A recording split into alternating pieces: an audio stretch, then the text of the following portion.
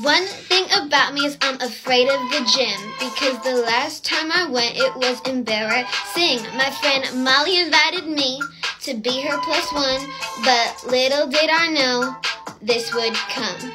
We started off with the treadmill, but we stopped pretty early cause we hate uphill.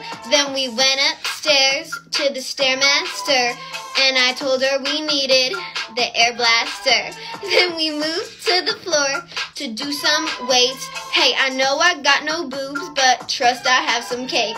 But Molly had to go to the bathroom, so I did what just any other teenager would do. I pulled out my phone to take a pic for my crush, but the man behind me said a bit too much. So I ran and I ran away from the gym, and I'm not going back because of men like him.